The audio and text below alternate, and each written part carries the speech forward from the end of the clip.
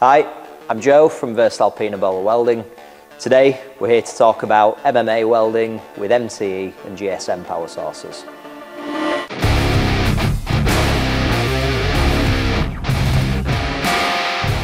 Okay, so for the purposes of the video, today we're going to be welding with the Böhler Fox CN23 12A electrode.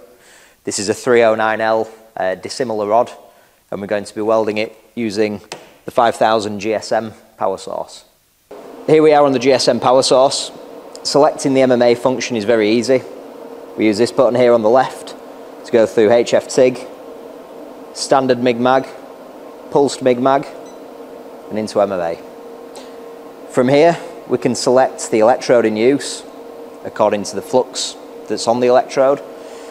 So we have chrome nickel, stainless steel, aluminium, cast iron, standard, which covers both rutile and basic, and cellulosic. In this case, this particular rod that we're using is a 309L rutile coated. This is a chrome nickel high alloyed electrode so we'll use the chrome nickel setting. Now what this setting does, it adjusts the arc force and the hot start current, always ensuring the optimal, the best possible parameter and welding condition according to the, the type of rod. In this case, we're going to weld around about 80 amps for a 2.5 millimeter electrode. This will give us 30% on the arc force and 100% on the hot start. Let's see how that runs.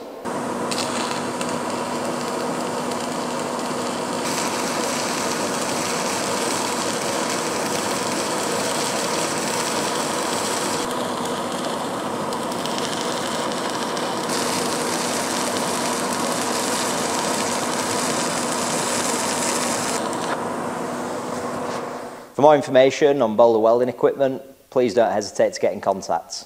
We'll see you next time. Thank you.